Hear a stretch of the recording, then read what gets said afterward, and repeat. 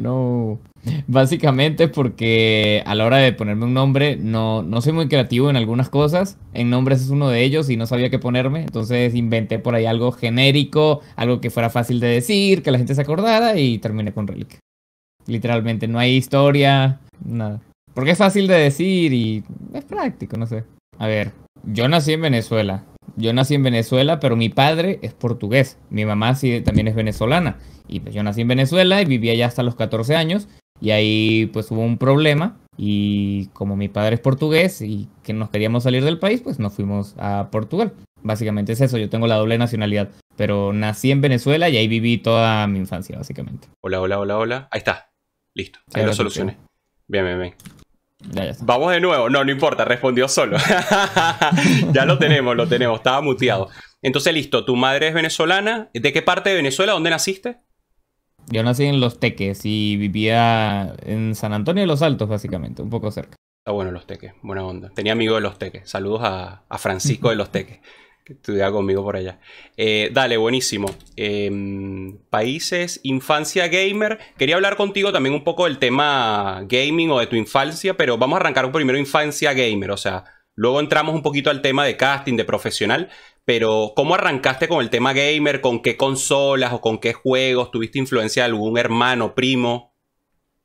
Bueno, de, pequeño no, no fui a tener mucha, o sea, la consola así, la más avanzada, siempre estaba un poco atrasado, como que la gente tenía el Play 2, yo tenía el Play 1, o cuando tenía el Play 1 yo todavía estaba en el Nintendo, siempre estuve algo atrasado ahí.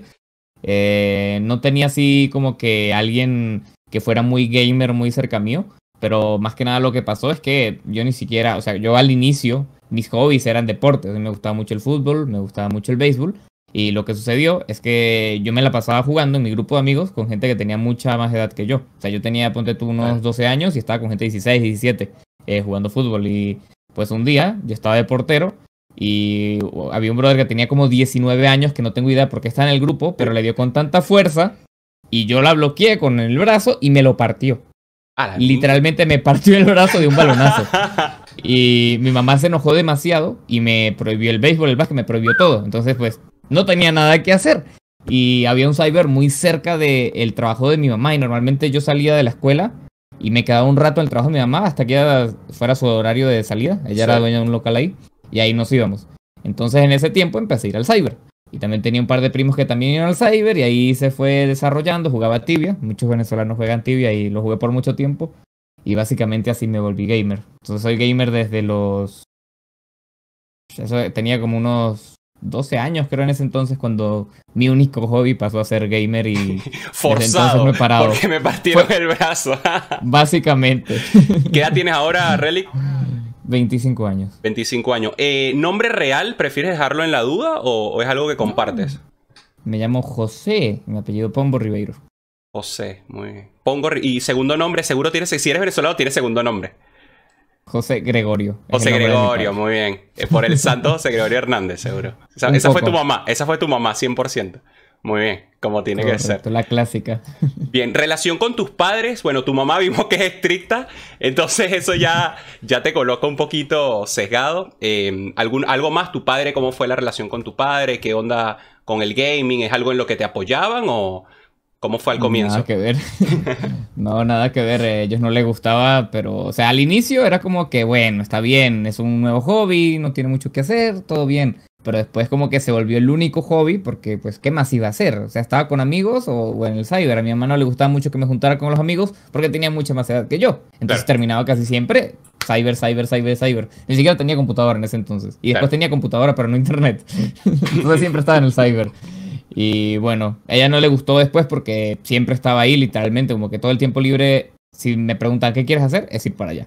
Se volvió como que básicamente mi único hobby, entonces ella empe- empezó a decir, no, que se volvió adicto y no sé qué. Y es la clásica mentalidad de si se hace adicto a esto, imagínate después al alcohol o drogas o lo que sea. Claro, lo Entonces- extrapolaban, qué loco. Claro, entonces empezó a cortarme bastante y me metí en cosas como un curso de inglés, al cual me escapaba y me iba al cyber, por cierto. y ya luego, cuando estaba en Portugal, que ya estaba, ya empecé a jugar LOL, eh, bueno, aprovecho para contar, o sea, cuando yo hice ese viaje, obviamente yo no quería, yo no hablaba nada de portugués, entonces llegué, no tenía amigos, eh, no, no hablaba el idioma, estaba en la escuela, pero era todo demasiado difícil y estaba básicamente deprimido. Entonces el único jugaba aún más. Entonces. Hijo único, ¿no? Era- Estaba solo. No, digamos. no, no. Ah, ok. A ver. Tengo dos, tengo dos hermanas, tengo dos hermanas. Dos, her- dos hermanas, mayores, menores. Una mayor y una menor. Una me lleva. Ah, el del medio, y- con razón, eres el del Claro medio. sí. Eso explica todo. Yo soy el del medio también. Los del medio tenemos, tenemos No ahí. nos dan atención. Claro, muy bien. ¿Y qué edad, qué edad tienes ahora, Relic? 25, 25. Tienes 25. Y parece un poco. Está bien. ¿Y a, a Portugal te fuiste a qué edad me dijiste? A los 14 iba a cumplir 15. Ah, bien. Y luego de ahí, ¿cómo, cómo surgió volver a México, volver a Latinoamérica? Ay, te estaba contando la historia. Ah, mira. sí, seguí, tranquilo. ¿Cómo empecé a jugar LOL? Fue porque estaba en ese entonces deprimido, entonces lo único que hacía era jugar. Sí. Y entre, entre amigos eh, nos aburrimos y eh, habían sacado el LOL reciente, estaba en beta. Y un amigo me dijo, mira, este juego lo sacaron nuevo y se ve bastante divertido. Lo probé y no me gustó, para nada. Y no lo jugué y después como de dos meses mis amigos se- seguían jugando full LOL y es como que bueno, vamos a darle otra oportunidad y ya y eso ya era Season 1, ya habían salido del beta. Y ahí ya desde entonces he jugado LOL. Y cuando tenía, creo que era 17 o 16, creo que tenía 17 ya. eh, ya estaba en, en, en Challenger, estaba bastante alto, llegué hasta el rango 8 de Europa. Estoy en LOL, obviamente. Y me, me- me- ya me empezaron a llegar ofertas y vente, vamos a jugar en este torneo. En ese entonces la escena estaba muy chica. Claro. Nada más existía lo que era entonces la, el CS de Europa. No había segunda división ni nada. Y habían era- era estos torneos y era como que, ah, mira, vente, vamos a este torneo, pero es en Inglaterra, te pagamos el pasaje, pero es en Inglaterra. Y, es- y mis padres es como que, no, no vas a ir. Y después como que, no, de este torneo en el mismo país, pero en otra ciudad, no, no vas a ir. Y era como, Wow. no me dejaban hacer absolutamente nada. No me dejaba participar en ningún torneo. Y pues como tampoco entré en la LCS como tal, aunque estaba, estuve cerca, pero no entré como tal, pues no, no tuve la oportunidad de aprovecharla. Y ya después como que tomé un break de, la, del- de, de League of Legends porque pues, no podía competir. Y ahí empecé a jugar Hearthstone, que es algo que muy poca gente sabe. Y empecé a jugar Hearthstone. Eh, llegué a rank 1 en Europa jugando Hearthstone y empecé a competir. Torneitos online, gané bastante. Llegaste a leyenda online. rango 1 en Europa. Correcto. Wow, Correcto. ok. Muy bien. Y ahí fui al primer torneo, ya tenía 18 en ese entonces. Y clasificé un torneo muy grande que era el Vaya Game, era el primero, que era en Suecia. Y ahí estaba, o sea, participé ganándole al segundo mejor jugador del mundo en el qualifier. ¿Quién fue en ese momento? ¿Algún conocido de ahora? Que, que- porque son como que más o menos permanecieron Claro, los mismos por mucho tiempo en Hearthstone. Savage. Ok, Le gané a Savage y a Chico. ok. Bueno, y fui al torneo y estaba con la gente que veías en los streams, ¿sabes? Ah, con, Re con Reynald, con Forsen, Amas, toda esa gente. Y era como un sueño. Claro. el punto es que me tocó, agarré y, y choqué en el torneo y me fue bastante mal, la verdad. empecé súper bien. De hecho, en mi primera serie empecé ganando 2-0 en un mejor de 5 y después perdí mis tres juegos. Wow. O sea, fue muy, fue muy, muy triste. pero Tienes cara de mago en primera- Hearthstone. Tienes cara de mago en Hearthstone. Era, lo que jugaba era Handlock y Miracle. Rogue. Bien. De Sí, hecho, yo mira, inventé tienes cara de... El, el post-deck del Miracle Rogue, el que usaba Colento, Ajá. eh, ese lo inventé yo. Muy bueno. Él me lo copió carta por carta. Wow, qué loco. No me, no me agradeció. El- y bueno, puede pasar, puede pasar. Sí. El Miracle es el, el- que, el que desgastas cartas a cada rato, ¿no? Cartas, cartas, cartas a morir. Sí. Bien. Y después los buen choteados. Bueno, el punto es que en ese entonces todavía era medio rata, por así decirlo. No tenía la mejor mentalidad del mundo. Y desaproveché también eso porque me tilteé, porque me fue mal el torneo. Y lo volví a dejar y me regresé al LoL. Y ya después, un poco más adelante, pues eh, yo tenía varios amigos que estaban, de hecho, de que los conocía desde hace muchos años de Tibia, que estaban en segunda división de la LLA, que jugaban la CLN. Y me dijeron que si quería probar en algún equipo y tal. Y entonces volví a subir eh, de Elo, llegué a Challenger de nuevo en Europa y me hicieron pruebas en ese entonces Gaming Gaming, eh, Infamous y Infinity me estaba hablando. Eh, en Gaming Gaming no me aceptaron y en Infinity estaban, eh, no sabemos, no sabemos y ya luego entré en Infamous porque ahí sí me aceptaron. eh, como a las 12 del mediodía y luego un poquito más tarde, en ese mismo día, los de Infinity me dijo, estamos interesados en ti. Pero ya había quedado con Infamous y ahí procedí a quedar último lugar en mi primera temporada de la LL. Y bueno, pero, pero sucedió muy bien.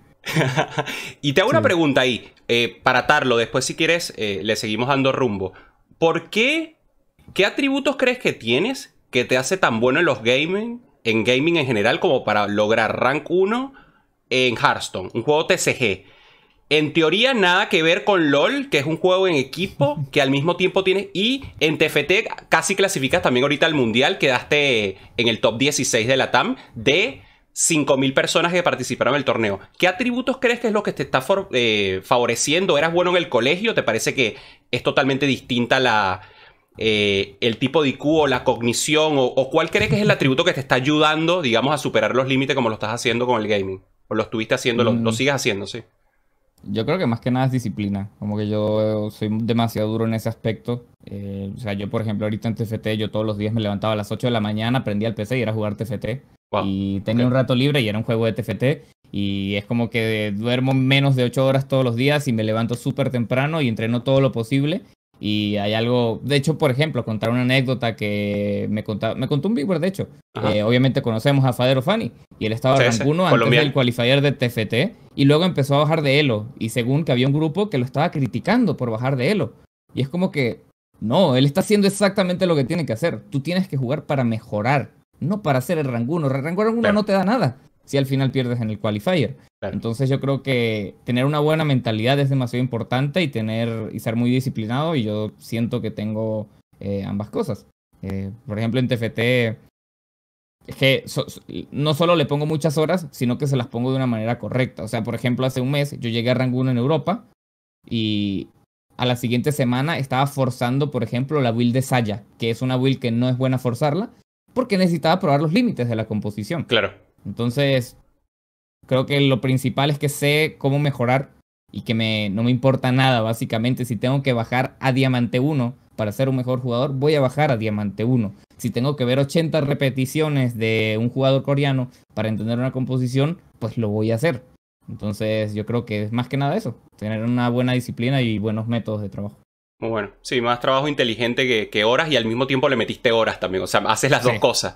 Eres el, Rock Lee metiéndole horas y horas y eres el Sasuke, digamos, ya eh, también superado en la parte de intelectual y entendimiento. Muy bueno. Te felicito de verdad porque son logros que sé que toman, em, toman dedicación. Y es lo que dijiste, toma esfuerzo y toma dedicación, más allá de, un trabajo inteligente también de aprovechar las horas al máximo. Em, y luego, eh, para seguir un poco la relación y cómo de ahí llegaste a la parte de casting, si quieres, continúa un poco con, lo que nos dejaste. Digamos que ya empezaste con el pro playing, quedaron de último esa temporada, luego cómo fluyó todo. Bueno, de ahí, de En el juego, perdón, en el primer juego, ¿me dijiste? ¿O en la, en la primera...? No, en, la temporada. En la temporada. de último y de los peores equipos que se habían visto en, en la historia, realmente sí. Pero yo personalmente, o sea, individualmente, tuve un desempeño bastante decente. Como que la gente siempre decía, ah, este equipo es horrible, pero Relic todavía se puede rescatar. ¿Estabas jugando el top en ese momento? ¿Siempre jugaste top? Claro. Ok. Siempre, desde Season 1. Ok. 10 años jugando este rol tan emocionante y divertido. ¿Por qué dice que Top es tan solitario? Di la verdad, ¿tú crees que es solitario? Es horrible. en mis tiempos era distinto, por eso jugaba top antes. Pero bueno, el, punto es que, no, de hecho estaba complicado porque mm, no estaba consiguiendo equipo, pero al final, al final, Infinity decidió hacer un cambio y más o menos de último momento y pues vieron un poquito de potencial en mí y pues decidieron ficharme. Y es una, esa es una de las historias, es una de las partes más bonitas de la carrera porque ahí nosotros llegamos y tú veías las redes sociales y era Infinity, nada, estos van a quedar como séptimo, octavo, mejor de los casos sexto, porque éramos jugadores que no habíamos tenido muy buenos resultados previamente ni nada por el estilo. Y todos teníamos mucha hambre de ganar, aunque no fuéramos los mejores jugadores individualmente, todos teníamos mucha hambre de ganar y todos hicimos todo lo necesario para ser el mejor equipo. Y de tener esa perspectiva de que todo el mundo pensaba que íbamos a quedar entre sexto y octavo, agarramos y llegamos a la final perdimos 3-0, pero llegamos a la final y llegamos jugando un estilo único, un estilo diferente y fue, fue una parte bonita de la carrera y el siguiente año pues un poquito más de lo mismo, volvimos a llegar a la final, hicimos un par de cambios y luego al fin eh, terminamos siendo campeones. Eh, ganando 3-2 la final estuvo un poco sufrida. Pero básicamente así fue la carrera en, en Latinoamérica. Y hablando un poco de ese sufrimiento, yo lo voy a llamar dolores, que en inglés son hurts, ¿Viste? Pero en español no sé, dolores le dice la gente. Dolores y bondades de pro player, porque sé que, o sea, más allá de que te guste jugar, las horas que le tienes que dedicar, más allá de, obviamente tú eres disciplinado y me imagino que para ti no sé si te, te habrá sido fácil, pero capaz era más pasable, pero me imagino que capaz otras personas, o, o cómo son en general los pro players, ¿son todos con esa disciplina? ¿O crees que el estrés fácilmente les puede llegar y se acostumbran? ¿O cómo más o menos funciona eso? No, todos los jugadores son distintos, la verdad. Eh, siempre me preguntan, de hecho, ¿qué necesito para ser pro player? Realmente solo necesita ser bueno. Claro. hay 80.000 personalidades distintas en ámbito profesional. Y definitivamente ser pro player, la gente piensa que es muy fácil, pero específicamente ser pro player de LOL es un dolor de cabeza muy, muy grande. Tienes que sacrificar muchas cosas, es demasiado eh, estrés. Pero para resumir, siento yo que también te entrega la mayor una de las mayores recompensas que puedes obtener en, en la vida, básicamente, porque, o sea, cuando tú le pones tanto empeño y estás ahí, sabes, tres meses seguidos, eh, básicamente con, no sé, cinco días libres en tres meses y en el propio día libre igual estás jugando y le pones tantas ganas y tanto empeño, cuando al fin tienes el resultado bueno, claro. tienes una gratificación demasiado grande, te sientes demasiado bien, te llena, que yo siento que eso es lo más importante de la carrera de pro player, es una carrera que te llena mucho por dentro. Y más específicamente la pregunta que me hiciste, si me gustaba el juego todavía, no sé qué. Realmente a mí no, a mí no me encanta League of Legends hoy en día. A mí lo que me encanta es competir. Claro. Porque la competición como tal es lo que siempre me ha gustado demasiado. Quizás por eso también soy bueno en los otros juegos. Porque más allá del juego, me encanta demasiado competir. Siempre he sido demasiado competitivo. Eh, a veces me gustaría ser menos competitivo porque a veces está bien simplemente quedarse un rato a divertirse, a pasarla bien. Y cuando uno es tan competitivo a veces eh, se te mete un poco al frente. Sí, obvio. ¿Y compites, contigo, compites contigo mismo mucho en otros aspectos? ¿O crees que lo drenas en el juego para después relajarte más en otras cosas? ¿O eres como competitivo en el resto? Porque obviamente la autoexigencia eh, te da disciplina, pero al mismo tiempo te quema un poco también. Te vuelve, no sé, según los chinos sería meridiano metal, que es que te vuelve rígido, pero porque como que te vuelve demasiado, digamos, eh, no sé, focalizado en algo y obviamente pierdes el, el 360 capaz de, de una vida, no sé mucha gente dice que hay vidas de gurú, donde te enfocas a morir, y hay vidas de paz y tipo, bueno, más, de tranquilidad, una vidas de descanso y vidas de trabajo. ¿Consideras que estás en la, en la vida de trabajo, digamos, esta vez? ¿Te tocó? Ah, esto es, no sé, yo personalmente mi vida siempre, o sea, yo, a mí me gusta, la verdad, trabajar, me gusta. Entonces, definitivamente trabajo demasiado. O sea, en mi, en mi época de pro player de LOL, yo entrenaba siete días a la semana, eh, iba a entrenar desde que me levantaba hasta que me dormía y siempre iba a tener demasiada disciplina. Y como tú decías, quema. Yo personalmente sufrí de esto, me quemé bastante porque a veces tienes que agarrar y hacer un balance con las cosas. No, no sirve entrenar 80.000 horas al día porque al final del día si no estás bien eh, de salud, mentalmente, etcétera, pues al final vas a sufrir. Y esto es algo que vimos con el mejor jugador que ha tenido la historia de League of Legends, ha sido Faker. Que él tenía también estos métodos de trabajo y un punto donde dejó de funcionarle tanto. Y tú ves ahora los métodos de trabajo de Faker y él mismo lo dice, que él descansa demasiado, que hace muchas cosas para entretenerse, cuando antes lo único que hacía era entrenar. De hecho, hay un equipo que se llama Africa Freaks, bueno, todavía existe, que cuando fue al Mundial el entrenador decía, aquí todos los jugadores duermen seis horas o menos. O sea, era su método de trabajo, que era para maximizar las horas de juego y de entrenamiento. Entonces, eh, eso fue un método que yo apliqué y que no es muy bueno que lo apliques por un largo periodo de tiempo, definitivamente. Creo que hoy en día ya estamos acercándonos a una cultura un poco más saludable porque obviamente entrenar así no es nada saludable. Y vamos a ver qué sale en Latinoamérica. Diría que todavía sigue un poco con la old school, que se sigue entrenando demasiado. Ok. ¿Y cómo llegaste de ahí a, a lo de host? ¿Cómo te surgió? ¿Te surgió, digamos, de forma natural? ¿Es algo que querías y de alguna forma lo buscaste? De, de, de caster, digamos, del casting. Yo cuando me retiré, o sea, era más que nada porque quería vivir una vida un poquito más normal, por así decirlo, porque te quita además, te quita toda la vida, te consume la vida. Si eres pro player, vives para ser pro player. No te, te complica demasiado tener una relación, tener amigos, tiempo a la familia, todo eso pasa siempre a segundo plano. De hecho, es una de las cosas que necesitas para ser pro player, es ser egoísta. Necesitas dejar de lado a tantas cosas que eh, hacerlo por mucho tiempo a mí no me parece razonable y es por eso que yo decidí retirarme, además de que tampoco fue mi mejor año, obviamente no tuvimos buenos resultados. Y pues decidí retirarme, pero quería seguir en el ámbito porque es lo que te digo, a mí me gusta mucho la competencia, me gusta mucho. Entonces, mi, lo primero que me vino a la cabeza fue, pues quizás puedo trabajar en, en la liga, de alguna manera. Y también tenía como segunda opción eh, seguir en la escena, pero como entrenador, para probar cómo me iba.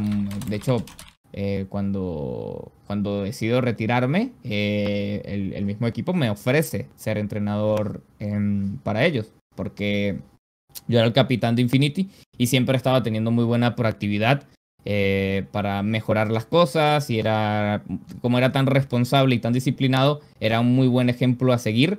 Entonces, simplemente por cómo trabajaba, a ellos les, les gustó y querían que siguiera, pero como entrenador. Claro. Pero como estaba un poco quemado de competir, simplemente tomé lo que quería, lo que, lo que quería de prioridad, que era pues trabajar en la liga. Y tuve la suerte de que ellos también querían trabajar conmigo al mismo tiempo, entonces como que tuve, todo se dio. Bueno. Tuve un poco de suerte y pues nada, más que nada eso. Onda. Y luego, ¿cuándo arrancaste con los streaming? ¿Lo, lo, lo hacías durante mientras jugabas o arrancaste con los streamings en Facebook un poco después?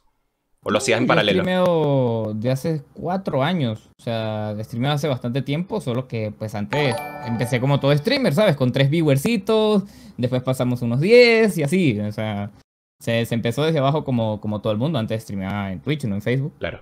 Eh, y pues nada, cuando fuimos campeones de Latinoamérica y es que empecé a tener más viewers, empecé a llegar a unos 300 ahí en Twitch, 200 algo. Y pues un poquito más adelante me llamó la atención la plataforma de Facebook eh, y como dan una compensación económica que es mejor que la de Twitch hasta cierto punto. Claro. No vamos a debatir de eso aquí, ¿no? Sí, sí, sí. Eh, me dijeron que si quería hacer un par de pruebas y en mis primeros dos streams, en ambos llegué a más de 300 viewers. Entonces, ah, muy bueno. Que, tenía gente, ya tenía gente en tu página de Facebook, digamos, ya tenías sí, una comunidad sí. creada. Perfecto. Sí, ya, ya tenía unos, creo que creo que unos 15.000 o algo así seguidores. Bien. Entonces sí tenía, sí tenía buenos likes, pues. Pero el punto es que tuve muy buen recibimiento, por así decirlo, en los streams que hice para probar. Entonces ahí le decidí una, dar una oportunidad y estuve estancado como nueve meses en, entre esa cantidad de viewers igual, entre ponte tú 200 y 350, uh -huh. hasta que en el inicio de este año, eh, como me retiré de Pro Player, tenía más tiempo, eh, decidí ponerle un poquito más de ganas al stream, hacer lo que los viewers querían. Y entonces llegué a rango 1 en LAN, que era algo que ellos querían en LOL. Y con eso como que llamé un poco la atención. Claro. Y después también hice un cosplay de Ari, que también llegó un poco la atención. y ahorita, ahorita tengo números mucho, mucho mejores. Yo no vi ese costó. cosplay. ¿Dónde pusiste? Ahí, ahí, ese tiene que ir a Instagram. ¿Dónde está? ¿Cuál es tu Instagram? ¿Lo ¿Tienes el Instagram, para? En Instagram no subí ninguno. No subiste ninguno. En Facebook entonces. No. Lo buscamos en Facebook. Relic LOL. Hiciste un cosplay de Ari. Por favor, hay que ver el cosplay de Ari. Importante. Detengamos todo, detengan la entrevista, detengan la charla. Vamos a ver si lo encontramos ahí. No cosplay si de Ari. O sea, no, no, sé, me dijiste cosplay de Ari, pensé en Sneaky. Y ahora que veo, te pareces un poquito a Sneaky, un poquito. Nada. ¿No? Yo soy mejor que Sneaky. Muy bien, muy bien, esa es la actitud. es broma, es broma. no, no, tengo una foto aquí completa, pero hay una de, de, Google si la quieres poner. A ver, pásamela a ver. Te la pasé en Discord.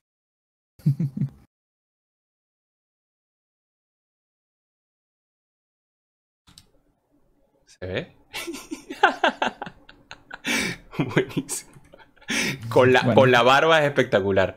Hermoso. La barba de Ari. Muy lindo, la verdad. Eh, muy lindo. Menor que, menor que 3 en el chat para Relic. A ver. Menor que 3 ahí. Perfecto. Eh, esa, ese, va a ser el, había... ese va a ser el thumbnail del video, me parece. ya había hecho también antes uno de PCBir. Bien. Pero eso fue, fue como hace Um, nueve meses más o menos, ya fue hace más un tiempo. Tiene, igual tiene buena calidad, se ve bien. Pensé que iba a haber algo medio troll tiene cariño. O sea, obviamente es meme porque no te quitaste la barba ni nada, pero tiene cariño. ¿Lo hiciste tú? ¿Te ayudaron? ¿Cómo hiciste el cosplay?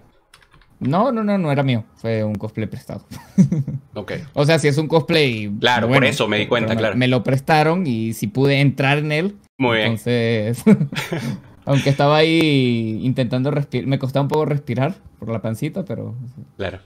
Eh, bueno. En cuanto al TFT, Relic, ¿Cómo, ya nos comentaste un poco que, que, estuviste grandeando duro, o sea, le metiste a full. ¿Cómo decidiste meterle al TFT? ¿Fue, ¿Te llamó la atención simplemente cuando arrancó por el hecho de haber un mundial? ¿Simplemente te gustó el juego y te porque también te gustan obviamente los TCG y TFT al ser un autobattler está en el medio entre un TCG y un juego capaz de estrategia? ¿Te llamó la atención y lo intentaste o dijiste, che, le voy a meter a este juego que está arrancando y quiero ver qué onda? ¿Cómo arrancó eso?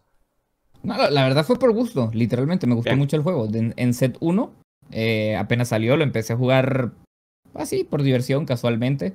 Y luego que se acabó la temporada, eh, yo lo seguí jugando mucho porque estaba divertido y me gustó. Y naturalmente llegué a un elo alto, entonces me puse a tryhardear a ver si llegaba a rank 1 en ese entonces. Me quedé en rank 2 porque literalmente tenía como 1600 puntos de que estaba rank 1 en ese entonces. Se llama Minchal. Y me llevaba como 400 puntos y era demasiado difícil.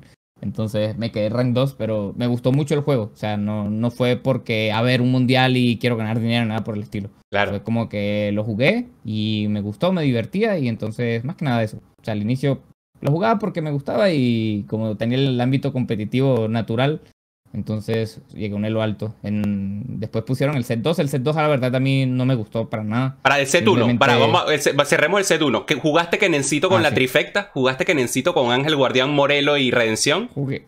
Jugué todo lo que. Igual. Yo lo extraño a Kenencito. dato curioso, desde ese entonces conozco a Chiwi, que ahorita va a representar mañana a Latinoamérica. que pienso que de hecho 100% va a pasar al mundial. Considero que es el mejor player que tenemos.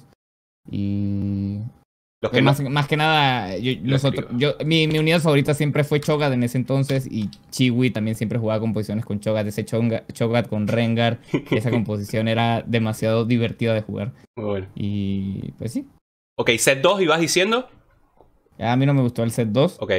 Eh, apenas salió, además de que no tenía mucho tiempo para jugarlo, eh, no, simplemente no me gustó, como que lo probé y Mm, no sé por qué, no sé si era el tempo del juego o, las win conditions, no sé, simplemente no, no me sentía muy, muy, no me estaba divirtiendo el juego, entonces ahí lo dejé de jugar.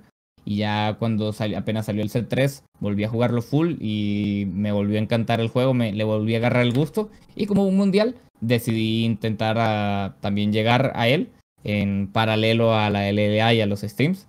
Y ahí le metí muchas ganas. La verdad, este set me, creo que ha sido el mejor set lo, lo, debato si es mejor o no que el 1, pero ha, sido bastante divertido. Ha tenido también sus momentos feos ahí, momentos oscuros de estrellas.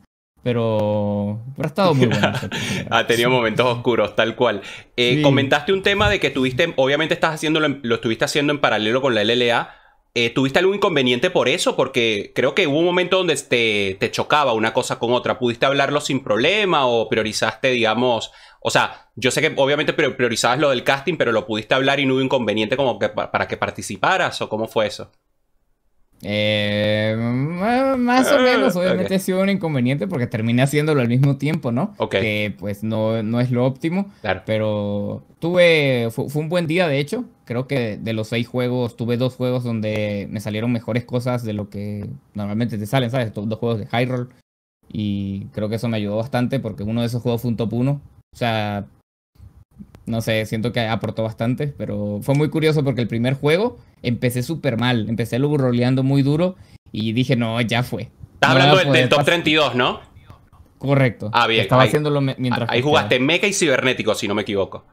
Eh, no, jugué cinco juegos de Cybers y uno de, de Guardianas. Eso fue lo que jugué el primero. Ok.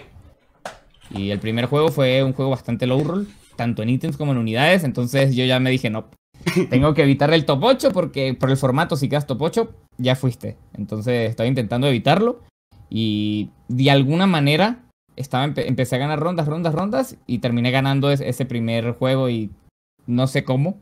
Y luego el segundo juego fue un juego high roll. Literalmente me salieron muy buenas unidades. Me Tenía Bane 2 a, level 6, creo. Con buenos ítems. Tenía Infinity las Whispers, si no me equivoco. Entonces fue, fue un juego bastante sencillo, también saqué top 1 y ya con eso, pues no sé, en general fue relativamente sencillo ese día. Y de hecho jugué Guardianas con Double Infinity porque fue lo que me salió. y, a quién se lo pusiste? Tenía en Cera y Soraka, creo. Y bueno, si salía un, un, un, puñito de Thanos podía servir para algo, claro. Sí, pero no, no, no pude Igual pegan daño verdadero, así que no es tan grave. Está bien. Sí, sí, sí, sí. Muy bien. Y bueno, hablemos un poco del top, el top 16, 5, 5, 5, el 5 fue fuerte el 5. O sea, te, fue quinto, No, no, quinto. el top... de- de- estoy hablando del LAN, el top 32 del LAN. El Luego top- fue el top 16. Perfecto. El top 16, ahí sí, o sea, lo que yo había practicado durante la semana, la verdad fue puro mecha. Era lo único que, básicamente, fue en lo que me enfoqué, era lo que quería jugar porque considero que es la mejor composición. Sí. eh, un poquito más arriba de Cybers. Y Cybers, como ya la tenía demasiado practicada, eh, la dejé un poquito de lado y como era, no era tan fuerte, pues la tenía ahí. Pero resulta que en los juegos, en LAN específicamente, todo el mundo quiere jugar mechas. Claro. O sea, literalmente todo el mundo quiere jugar mechas más de lo normal. Cuando yo estaba entrenando, yo, entre, yo, jue- yo entreno en Europa normalmente. eh, me encontraba mucho, una cantidad mucho menor de mechas. Entonces cuando llegué aquí y veo los juegos, realmente jugar mechas se vuelve algo arriesgado. Porque Claro. si nunca te sale ese fizz, te vas a comer un top 8, top 7 y se acabó la competencia para ti. Pero en ese día, de hecho, sí pude jugar mechas. Jugué mechas, de hecho, los tres juegos. Y me saqué dos top, 2, dos top 1 y un top 4, si no me equivoco. Y también pasé en primer lugar. Y no pasó nada especial, la verdad, en ese. Siento que tuve un lobby igual bastante accesible, por así decirlo. Evité a Faderofani y a Chiwi, que consideraba yo los dos mejores. Bien. Y ya para el último día, pues la catástrofe. el primer juego quería jugar mechas y estoy así viendo los- las demás boards y es como que hmm, Calcifier tiene un Fizz, no sé si era level 5 o level 6, pero lo consiguió súper temprano. Otro brother ya tenía Rumble 2 y es como que, Claro. bueno, qui- quizás es un poco arriesgado jugar mechas si no tengo una sola unidad de, de mechas y ya hay dos personas como muy avanzados. Eh, intenté ir Cybers y no me salió nunca la Vayne. Literalmente no me salió nunca la Vayne, no me pude estabilizar. Claro. Eh, el segundo juego no fue tan low roll, pero habían otras personas que sí estaban muy high roll y también cometí algunos errores. Entonces volví a ser un top 5. Ese juego quizás sí pudo haber sido un top 3 y podía haber cambiado las cosas. Y ya el último juego, no sé, si- siento yo que también hubieron un par de high rolls que varias pero Es que el- mi mayor problema en, es- en estos tres juegos fue los primeros niveles que nunca, todos los componentes que me daban no podía juntarlos. Literalmente, si era- siempre eran componentes que no podía juntar. Me quedaba una Claro. armadura y una resistencia mágica. Y es como que tengo que distribuirlos y siempre perder todos los juegos tempranos. Tuve eso, los tres juegos básicamente. Y por ejemplo, el tercer juego, aunque me salió una Vayne, yo tenía una Vayne. Pero lo- la otra persona tenía, por ejemplo, Cal- Calcifier tenía un Lucian con Red Buff. Y es como que, obviamente, él es el que va a estar ganando todo el, el early. Y pues no, no sé. Eh, simplemente considero que toda la mala suerte que no tuve el día 1 y día 2 vino el día 3 y además que cometí algunos errores. No jugué tan bien alrededor de esta mala suerte y pues por eso me quedé fuera. Claro. Asumiendo que, digamos, el juego no es maligno y consigues una composición de cibernético, eh, ¿cuáles son tus condiciones de victoria? ¿Crees que es necesario el verdugo contra el mecha? ¿Crees que es necesario Echo? ¿Crees que Irelia sigue teniendo un espacio o crees que es Vayne la más importante? Obviamente todo es importante, pero ¿cuáles crees tú que es donde debería focalizar las personas que quieren usar cibernéticos en este meta? De hecho, yo creo que ese es el principal problema, querer focalizarse en algo. Yo pienso Bien. que cuando tú juegas Cybers, tú tienes que ser demasiado flexible. Tú tienes que ver qué es lo que el juego te da eh, e intentar adaptarte a eso. Hay juegos donde tú vas a buscar tener Irelia Carry, hay juegos donde vas a tener Echo Carry y hay juegos donde vas a tener Vayne Carry. Entonces, siento yo que tú tienes que adaptarte bastante bien. Eh, en cuestión de prioridades, obviamente tienes que intentar ir a lo más eh, sólido, no a lo más fuerte, sino a lo más sólido, a lo más estable, que pues es la Vayne. Si puedes tener Claro. una Infinity y una Last Whisper, eh, con eso casi siempre, por lo general, si no te sale muy tarde la Vayne, vas a conseguir un top 4, peor de los casos, un top 5. Y si quieres alcanzar, si quieres jugar para el top 1, necesitas este, este mm, Giant Slayer, porque es duro el, el enfrentamiento contra los mechas. Una de las cosas que siento que también la gente falla mucho con Cybers es que no se arman redención. Es el ítem más fuerte que tiene mecha defensivo y siempre necesita eh, mecha, Cyber, perdón. Y es un ítem que es demasiado importante en la composición. Siempre quieres tener una redención a Fiora. Yo no tuve eh, eso en este torneo, no me salían la- las gotas. Y cuando me salieron, me salían las gotas, pero no los, no los HPs. Y creo que eso también afectó mucho en el resultado. Eh, es muy bueno también, tam- también tener una Ionic en, en buy, sobre todo si la tienes temprana, porque te puede conseguir win streak. Y Si siempre la quieres en bye, pero no te sale y se la terminas colocando a Leone y dices no. Pasa. Suele pasar.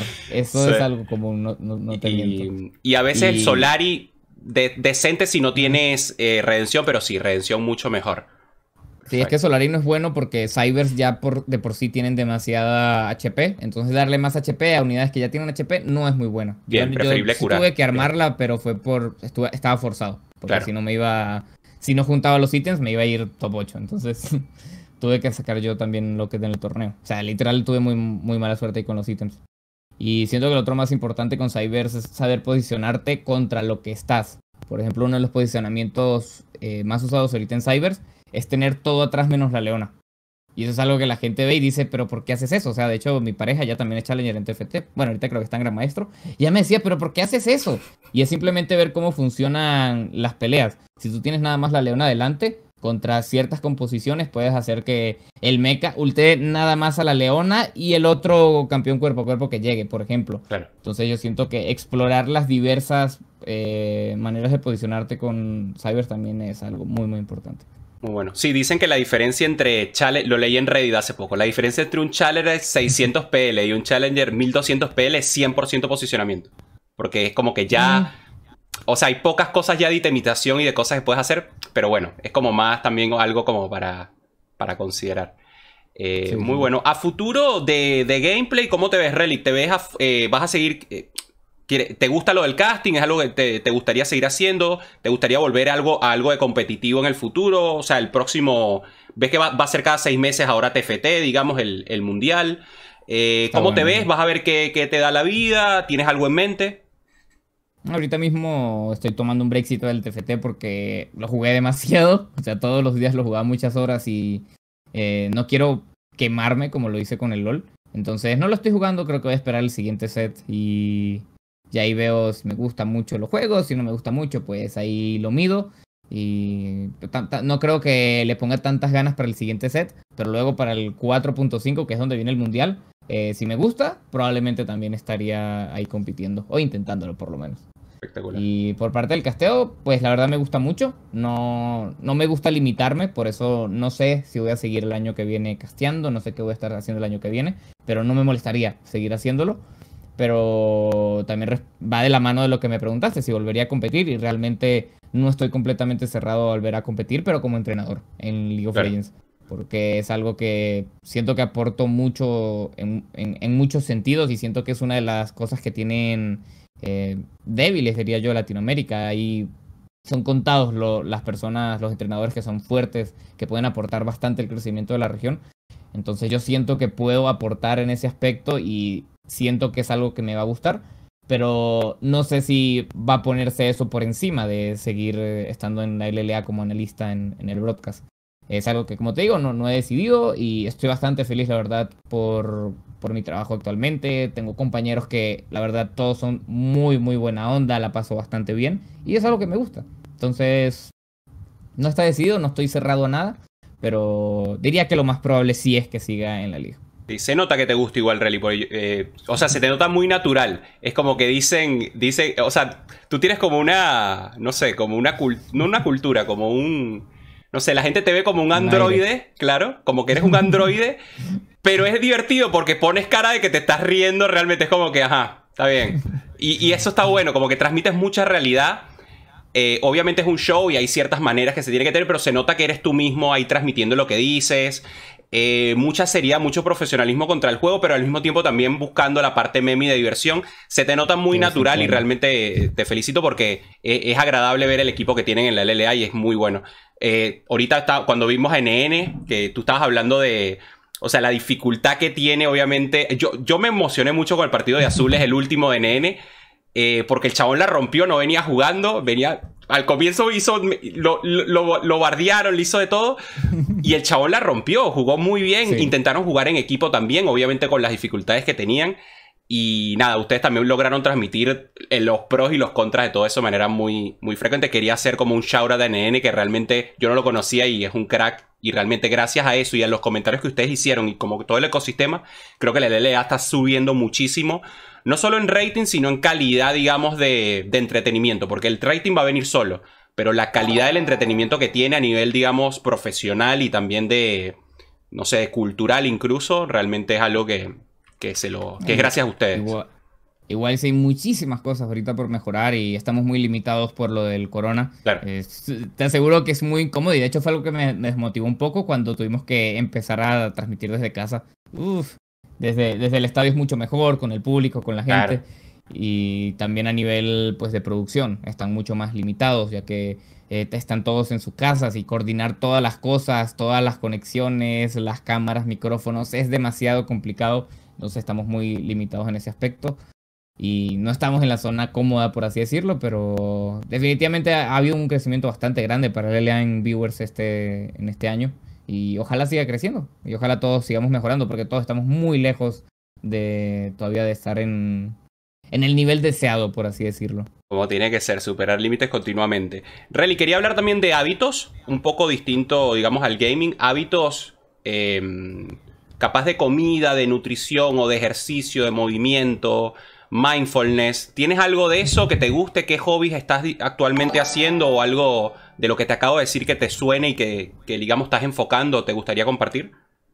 Mm, realmente yo siento que más allá de hacer cosas eh, buenas, por así decirlo, saludables, yo pienso que uno tiene que encontrar cómo sentirse bien, sentirse feliz y sentirse cómodo por cómo es la rutina. Yo soy alguien muy rutinario. Yo siempre me levanto a la misma hora sin alarma. Hubo un tiempo que me levantaba a seis y media de la mañana, por ejemplo. Ahorita no estoy todavía tan loco, pero sí me levanto todos los días 8 de la mañana sin alarma ni nada, todos los días. Es algo muy sistemático, soy mucho de rutinas. ¿Y a qué hora te duermes? Si se puede saber. Mm, como a la entre once y media y dos y media. Ah, perfecto, ok.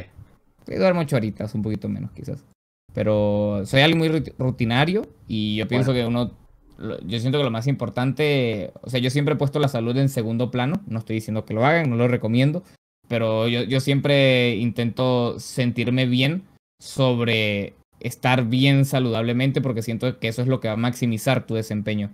Entonces, nunca he tenido así como que demasiado cuidado con mi dieta, por así decirlo. Nada más no estoy gordo porque no tomo bebidas gaseosas, que es algo que sí, sí fue una buena decisión que tomé hace mucho tiempo, pero no tomo bebidas gaseosas básicamente nunca. Por si no, si estuviera medio besito, porque yo sí como, como bien. O sea, me gusta un plato de buena comida, no, no estoy ahí con una dieta de 10.000 vegetales, nada por el estilo. Claro. Y igual yo sí siento que es algo que puede aportar al, nivel gamer. Yo siento que si comes mucha comida chatarra, por así decirlo, puede llegar a afectar tu, tu desempeño. Puede, sobre todo si, si lo haces antes de jugar, puede llegar a ponerte un poquito más pesado, un poquito con un poco más de sueño.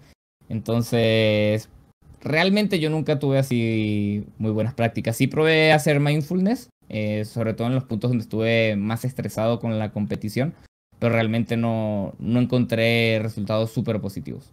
No, sí, lo, lo, probé como por dos meses, más o menos. No digo que sea malo, pero simplemente para mí no me resulta.